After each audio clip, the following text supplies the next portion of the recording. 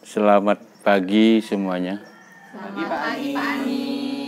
Ya, saya akan membacakan sebuah cerita, tapi sebelum saya akan membacakan sebuah cerita, eh, saya akan menyampaikan apa apa isi dari cerita tersebut.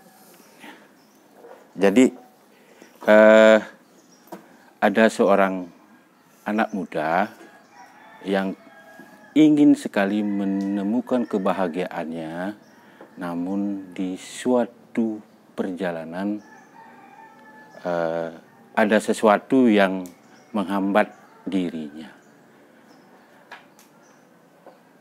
Nah, eh, dari sesuatu yang menghambat dirinya itulah yang saya kepingin sampaikan kepada teman lewat cerita dari buku ini. Nah, judul cerita adalah si ya nyi, nyilara oh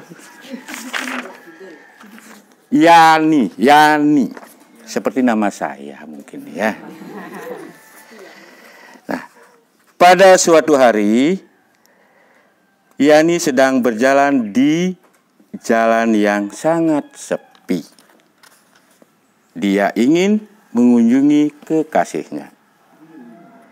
Ketika ia melewati sebuah air mancur yang memercik air dingin seekor naga melompat di depannya dan berkata, "Selamat pagi, selamat pagi, Yaniku.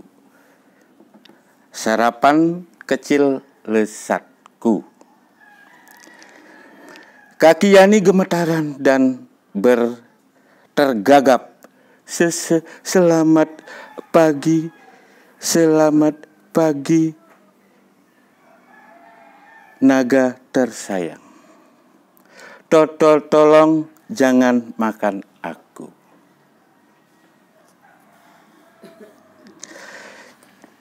Tidak memakanmu, anak muda, aku luar biasa lapar sarapan kecilku.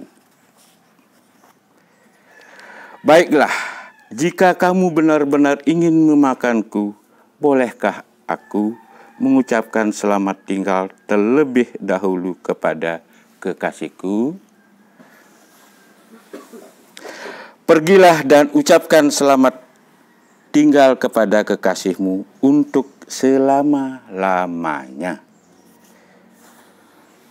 kata si naga.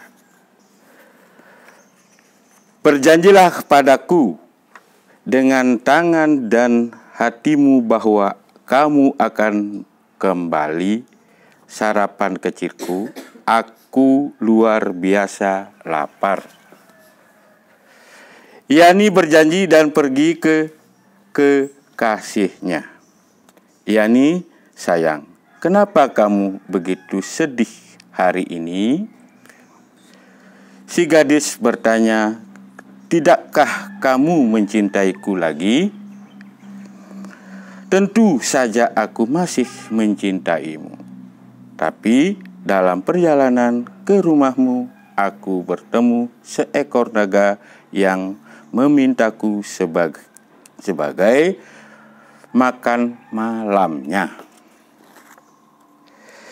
Si gadis berkata, Kenapa ke mana pun kamu pergi, aku akan ikut, aku akan tetap bersamamu. Tidak, kamu tidak bisa ikut denganku. Gadis tidak boleh ikut, itu terlalu berbahaya. Aku akan memasakkan makanan padamu Aku akan menghidupkan apimu. Aku akan merapikan tempat tidurmu. Aku tidak takut naga. Lagu inilah yang dinyanyikan oleh sang kekasih. Kita akan pergi bersama. Cinta kita akan melindungi kita. katanya. Dan pergilah mereka ke tempat naga dengan bergandeng tangan. Ketika naga melihat mereka datang, dia berteriak, "Itu dia sarapanku, sekarang ada dua." Yani berkata kepada gadisnya, "Kamu lihat sayangku, kamu tidak seharusnya datang monster kejam ini akan memakan kita. Tapi dengan rasa keras si gadis teriak, Yaniku sayang, jangan takut, aku sudah makan sembilan naga untuk sarapan pagi ini. Yang satu ini terlihat enak, aku bisa dengan mudah memakan yang ke-10. Semakin banyak naga yang kumakan, semakin laparlah aku jadinya.